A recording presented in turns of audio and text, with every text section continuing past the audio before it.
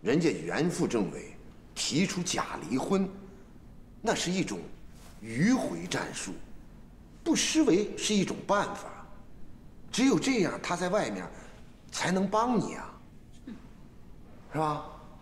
这女人呐，就是头发长见识短，打仗需要战术，同样生活也需要策略。让我欺骗组织，不可能。汪精卫当汉奸，还叫嚷着自己是曲线救国呢。自古鱼和熊掌，二者不可兼得。他姓袁的不知道这个道理。哎呀，这都是死脑筋，你就不能不这么教条主义啊？瞎子算命，直来直去。要我看，人家袁副政委那那那对你可是没有二心的啊。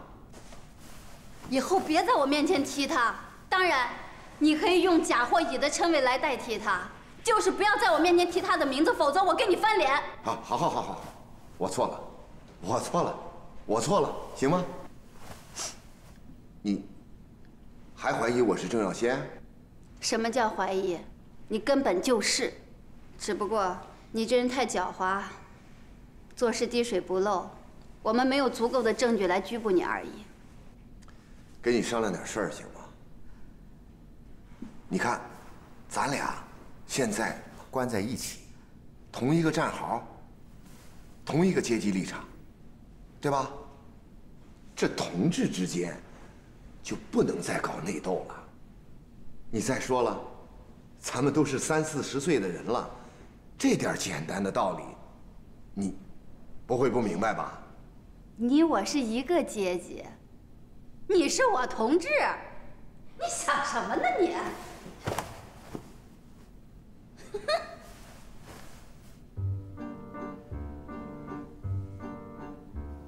他们俩当真就不吵也不闹了？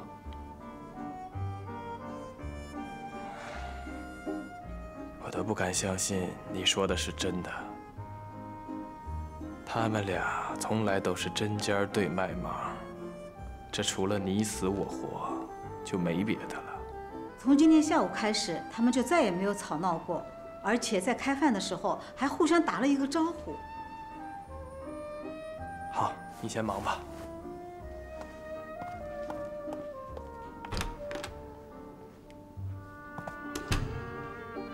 马小五不知道到底该替他们高兴呢，还是悲哀。他挖空心思都办不到的事，居然在短短一天内，在郑耀先和韩冰之间，就出现了历史性的转变。我一九三一年参加革命，竟然被怀疑投诚了国民党。可谁能够想得到，大风大浪我都闯过来了，却在小阴沟里翻了船，一次被抓，命运竟然出现了天翻地覆的逆转，和你这种人画上了等号。同居一室，同在一个屋檐下，仰人鼻息。我父亲在秦淮河边上的印刷厂里做排字工。从小我跟他学过几个字儿，不算是睁眼瞎，可没想到，最终把我害了。竟然因为这双眼睛，娶了一个国民党女特务，我这黑锅，恐怕是拿不下来了。真是一失足成千古恨的。其实，说我是资产阶级也没错。不是资产阶级，娶那么漂亮的老婆干嘛？癞蛤蟆吃了天鹅肉啊！别总给自己上纲上线的，不就是娶老婆吗？关人家资产阶级什么事儿啊？无产阶级就不谈婚论嫁了。马克思娶了燕妮，燕妮还比他大四岁呢。说到底，就是因为我娶了国民党女特务林云燕。这条美女蛇缠得我晕晕乎乎的，我我竟然不知道她是个，她是个女特务。她是国民党特务不假，但她也是个女人，为你生儿育女。哎，对了，你女儿就放在那个妓女家了。不放那儿放哪儿啊？你也放心。那不放心怎么办？不放心，也得放心呐。林云燕那个不争气的肚皮，愣没给我生出个带把的男孩。你们这些臭男人！其实我觉得你是个好人，面冷心热，刀子嘴豆腐心。当然，我说这些跟你抓不抓我没关系。我，我就是说说。你说我好有什么用？组织部认为我是好人，抓了半辈子坏人，没想到最后自己也变成坏人。你跟袁副政委这么多年，这这说散伙就散了？你这人怎么回事？哪壶不开提哪壶。闲着也是闲着嘛。你就全当我是猫哭耗子。其实我并不喜欢他，选择和他结婚也是没有办法的事情。当初我人在石口劳教农场，是他把我救了出来，恢复了工作。这本身也带有功利的思想，算我自欺欺人，利用了人家。不提他了，事已至此，说他也没什么用了。这夫妻一旦绝交，当不念旧恶，不出恶声。这人不到关键时刻，根本看不出他的为人来。夫妻本是同林鸟，大难临头各自飞。所谓领导干部，说白了也就是俗人一个。我说，这人呢，得想开点想开了就好了，否则你那是。你那是拿别人的错误在惩罚自己。你这次进来，就比上次好多了。此话怎讲？上次放风的时候，你，你一脑袋就扎到地上了。我一头栽倒在地上。当时我在想，死了算了。你没死，那，那回可把我给吓死了。我要真死了，你该高兴才对。特务头子也有心软的这一天。你说谁呢？我说你呢。那你还是去死吧！看在咱俩曾经同居一室的份上，我到时候啊可以帮你收拾尸。呸！狗嘴里吐不出个象牙来。这个郑耀先太不像话了。他这么做跟谁商量过？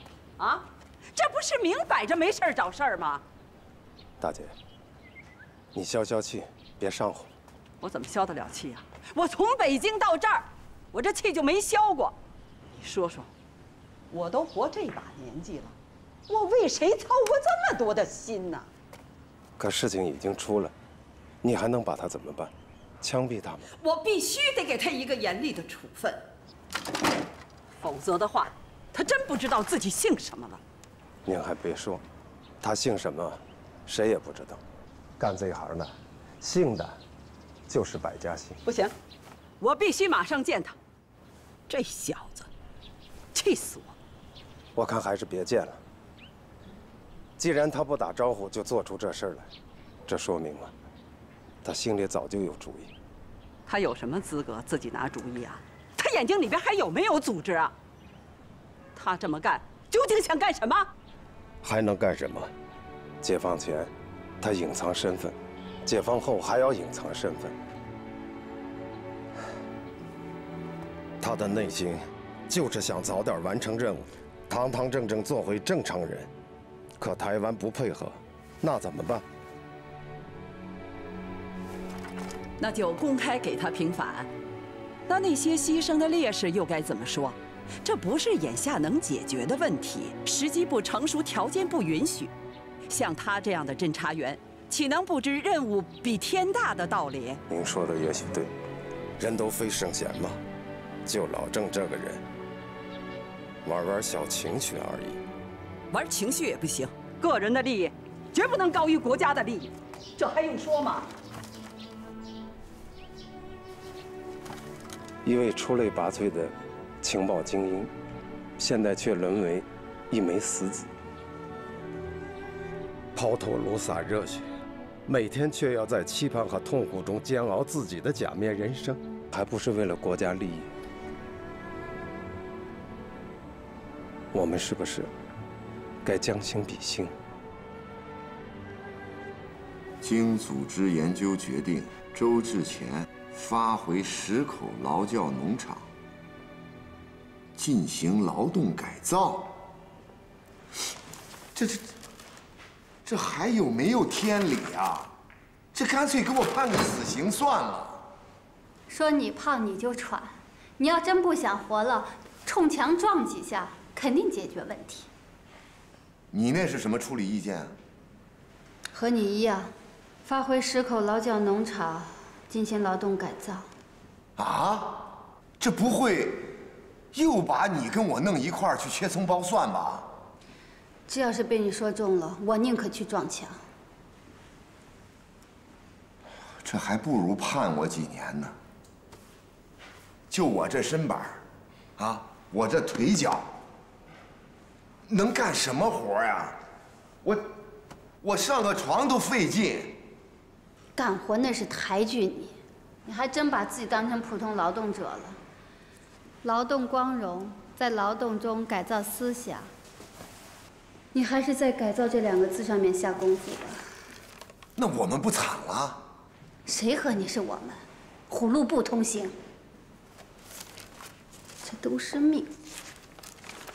自打遇到你，我这日子就没好过过。这能怪我呀？谁叫你一天到晚的，连做梦都要抓我呢？废话，你是贼，我是兵，我能不抓你吗？要是再给我一次机会，我照样不客气。行，有时间，您就慢慢抓吧。榆木脑袋。你说谁呢？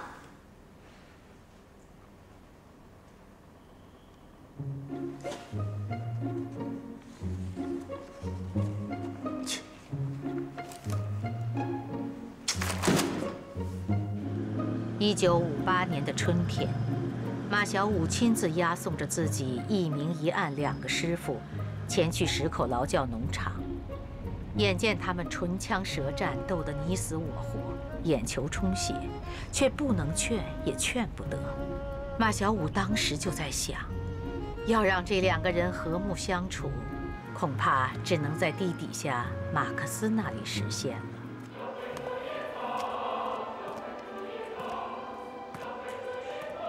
哎，一会儿回来两个人，我对这个周志前以后不能客气。韩冰离婚了。原副政委大是大非面前不含糊。那对韩冰，这待遇也得改改了。劳动是试金石，劳动啊能够帮助人，更能改造人，脱胎换骨成为新人。对对对，成为新人，成为新人。小五，我打算提议你，让你接替韩冰的位置，出任科长。哎，家里还好吗？最近没见你家小冷。我老丈人前阵子去世了，就那个红色资本家吗？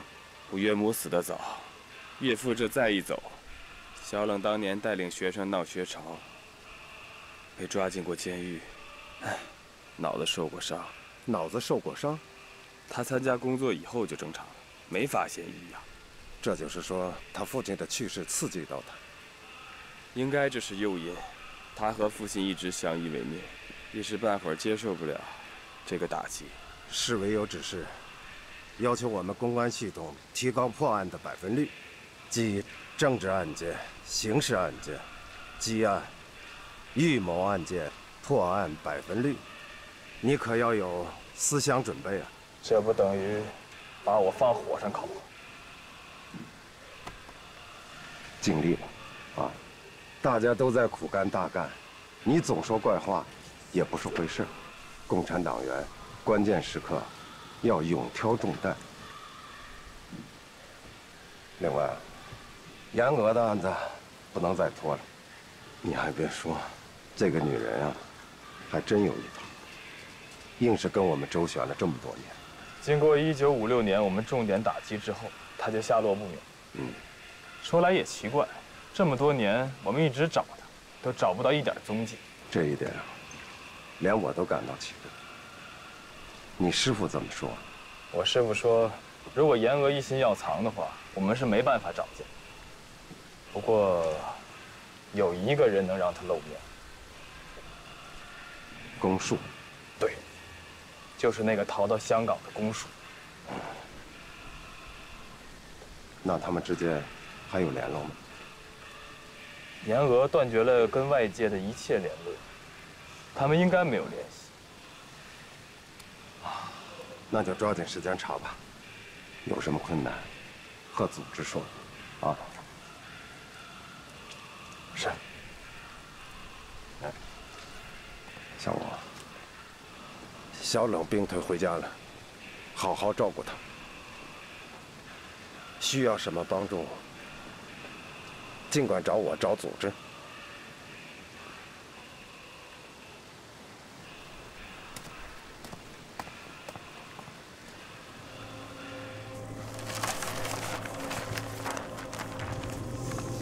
共党又要搞运动了，那对我们？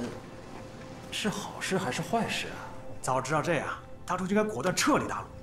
现在可好，都成了黑人黑户，户口、粮票都没有，想走你都走不出去。撤离大陆？你以为你想撤就能撤出去吗？那么多的高官将军都撤不出去，像咱们这些阿猫阿狗的，做黄粱美梦呢你。再说了，这台湾，它就这么一个弹丸之地。要是都过去了，我估计啊，连站都站不下。兄弟们好，兄弟们好，我来了。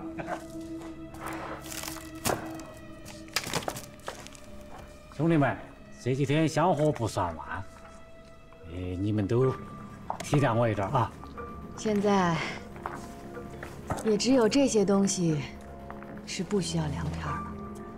严长官，这个样子下去不行哦。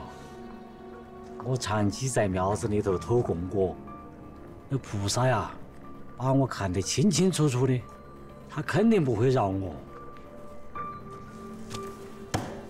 看看，嗯，嗯，国军有动静，这就给我们创造了条件和机会。反攻大陆，我有希望。三军未动，粮草先行。总有一日，台湾会想起我们的。要让马跑，不会不给马吃草的。你这是在画饼充饥，让我和兄弟们望梅止渴。对，我就是在画饼充饥，望梅止渴。只有这样，我们才能在希望和期盼中，不至于在黎明到来之前渴死、饿死。现在最麻烦的是没得盐的，长期体内缺盐，兄弟们身体会出毛病的。要反攻大陆，也没得力气的噻。我们都在共军面前露过脸，不能进城，村村寨寨也不能去。现在老百姓的警惕性很高，能不能？再想一点别的办法。除了偷供果，还有啥子办法可想呢？哎呀，菩萨，你要是不高兴的话，你就惩罚我一个人嘛。阿弥陀佛。你要干什么？出家。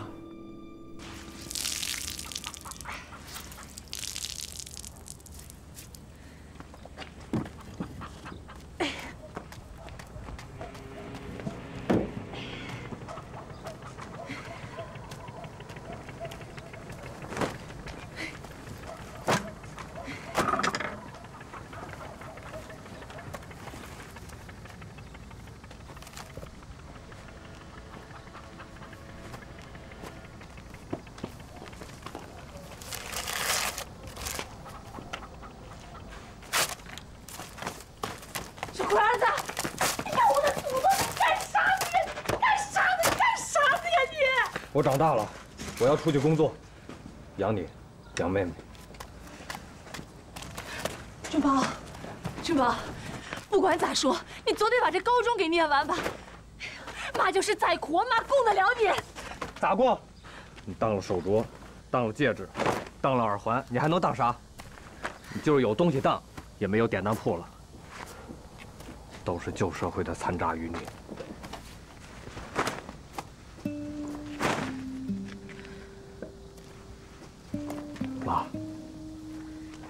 十八了，念不念书也没啥大意思，我还是出去找点事儿干。我是男的，得养女的。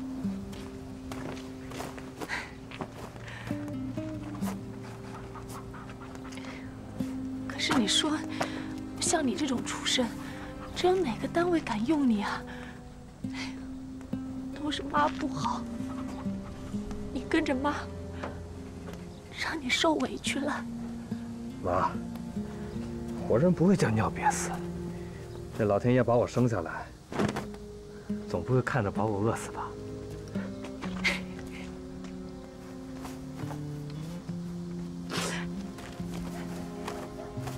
对吧？那你可想好了，去干啥子？擦鞋是别指望了，这年头还有几个穿皮鞋的？有皮鞋也不敢穿。我去休息。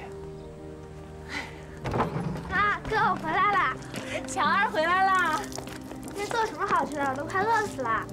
吃吃吃吃，就知道吃，饿死鬼托生，在家里都快揭不开锅了，也不知道替这个家省省心。哼！行了你，你少说两句。君宝啊，这不是为娘的说你啊，这可就是你不了解女人了。这女娃娃呀，在这种年纪，正是馋嘴的时候，知道为啥的呀？这花骨朵啊，要为将来开花做准备嘞。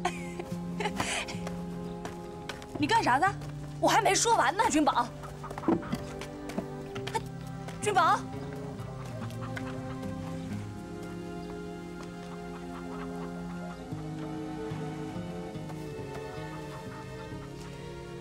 为娘的没用啊！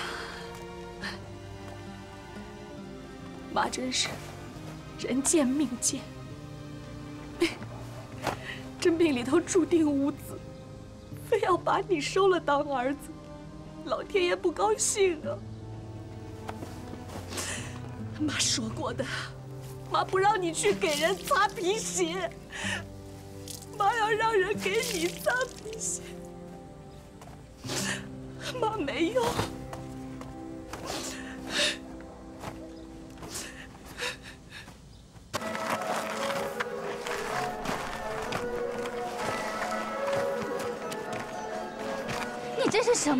态度呀？严肃认真一点好不好？你要点个个位数。周志奇，啊，你重新点数。呃，哎，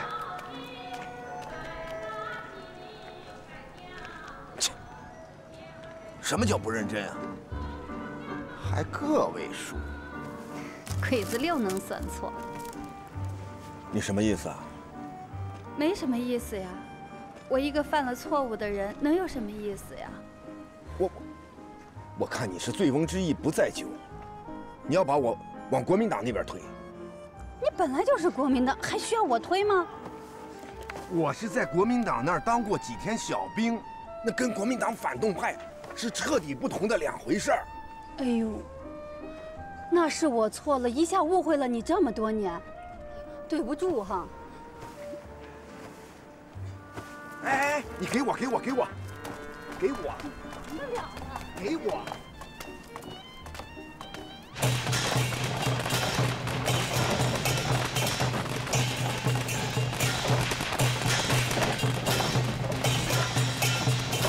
你这说话阴阳怪气儿的，这什么意思啊？你这人是不是有病啊？都混到这个份儿上了，你说话还不八个闷？成心别人把你弄死了，你心里才舒坦是吗？哼，这有人要把我弄死啊，我得感谢他。我这个人就是缺少自我了断的勇气。再说了，不让我说实话，那干脆就把我杀了。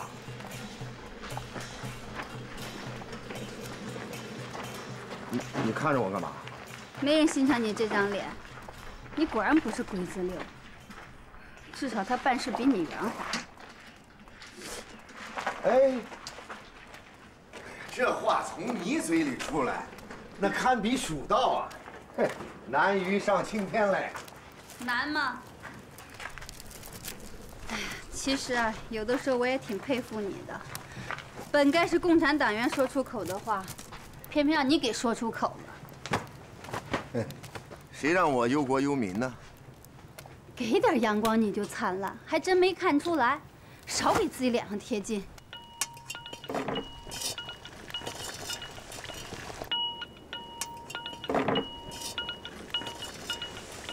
人人进入那个新乐园，吃喝穿用不要钱，鸡鸭鱼肉味道鲜，顿顿顿顿都可吃个四个盘，天天可以吃水果。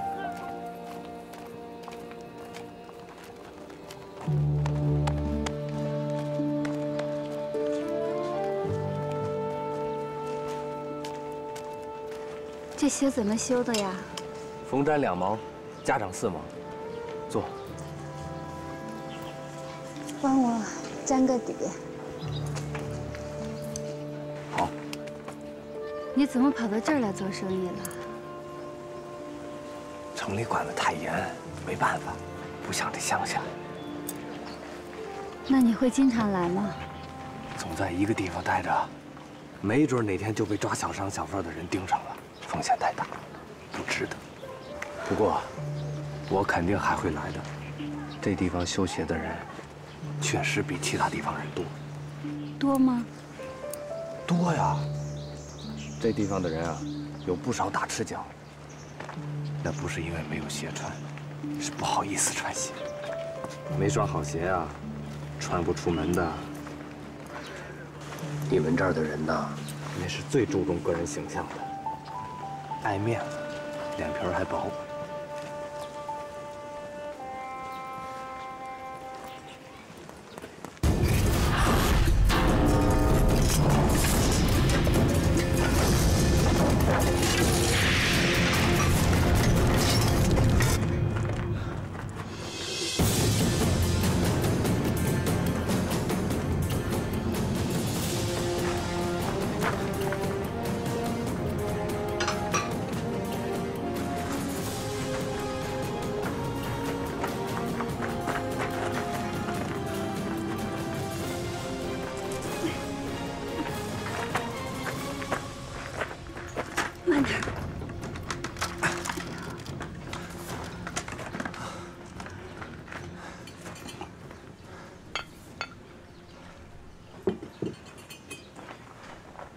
你呀，就是好表现，一把年纪了。郭管教说了，我这叫洗心革面，戴罪立功。那也得实事求是啊！你也不看看自己的身体，就算是戴罪立功，你腰疼啊？哎呦，这腰啊！你这会儿知道你不是小伙子了，你不是爱表现吗？你吐血了，我连肺都快吐出来了。三分队结了婚又离的那个小丫头，跟我们是同类的，嗯，出事故了。我刚接到上面的通知，让让我去顶替一个姑娘。我不会是去替她吧？好赖你是个死人堆里爬出来的老兵，这就哆嗦上了。我实在是控制不住。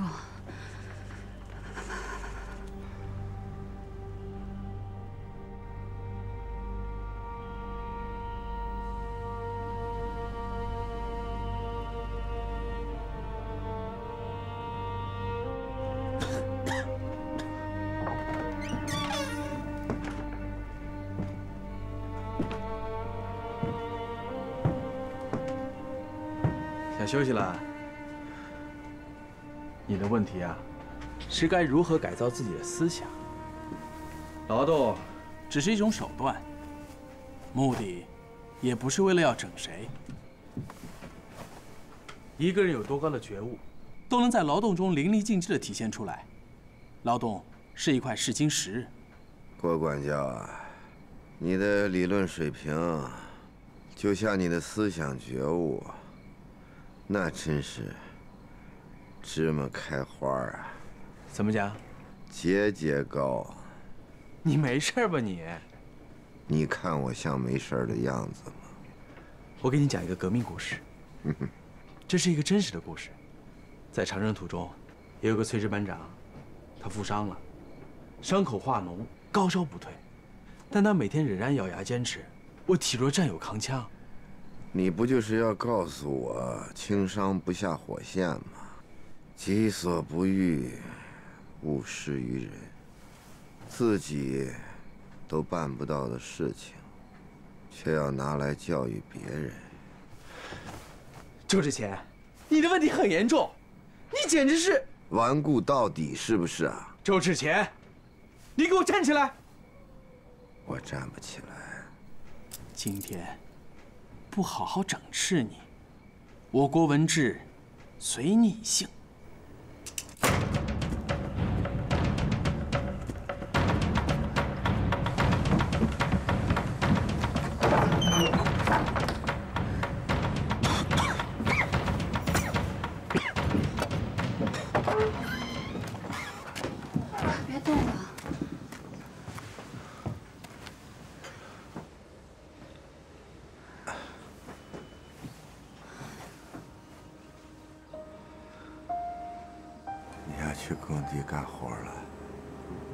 大家伙都在你追我赶，劳动中改造思想，出大力流大汗，我岂能躲在环境安逸的食堂里，偷得浮生半日闲呢？把这个带上。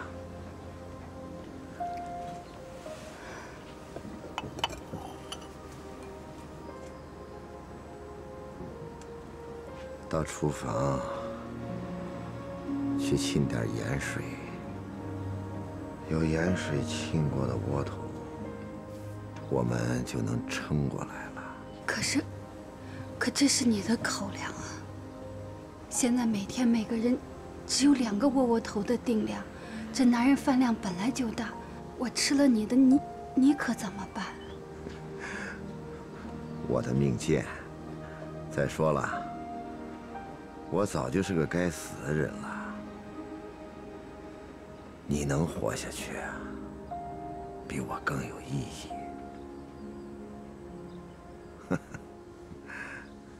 如果有一天你查清了我不是郑耀贤，别忘了到我坟前说声对不起。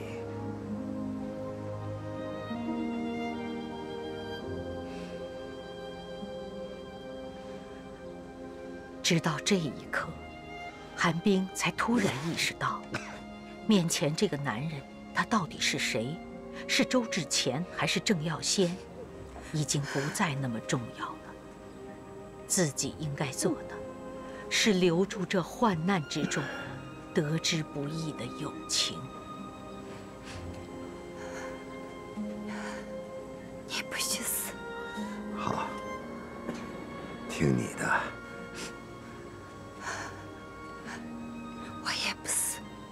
说话可得算数啊！嗯。嗯。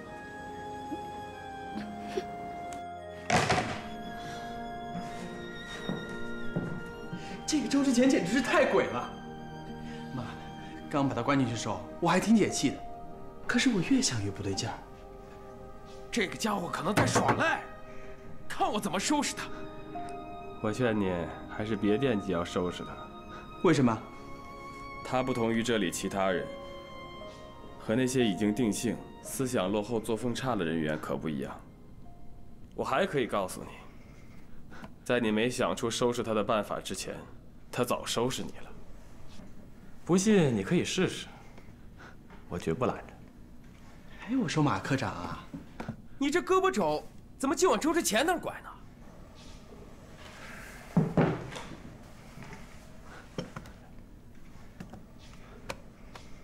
我这么说可是为了你好，樱木听在你。关于你给他安排重体力劳动的事儿，上面有些人很生气。我这么说你能明白吧？不明白，不明白。回去想想就明白了。还是那句话，思想教育不假，但你得分清楚，是针对谁。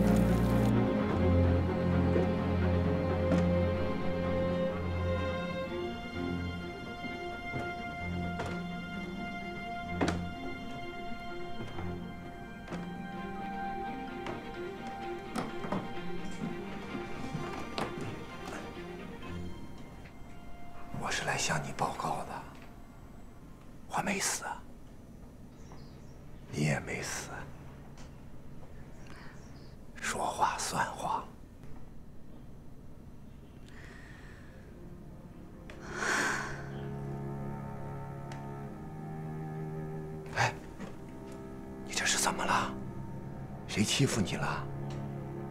这？他真有你的。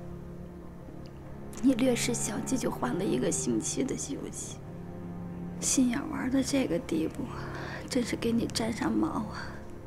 你比孙猴子还精。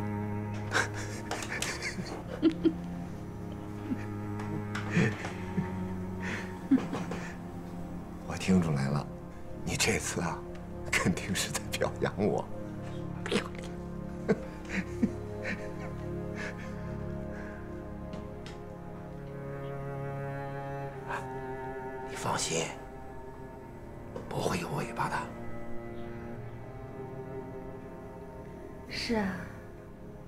就不长尾巴。你又来了，你跟管教兜圈子、打游击，能有你好果子吃吗？就算你一时得逞了，这好运也不能天天伴着你。只能骑驴看唱本儿，边走边瞧了。这次我要不耍点心眼儿，搞个阴谋诡计，我这身板不死也半死。咱现在不谈这个了。你吃了吗？吃了。你这连连床都下不了，上哪儿吃去啊？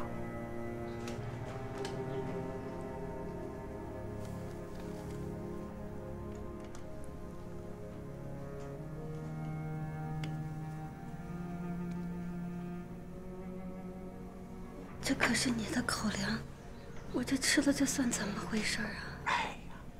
记住我一句话：活下去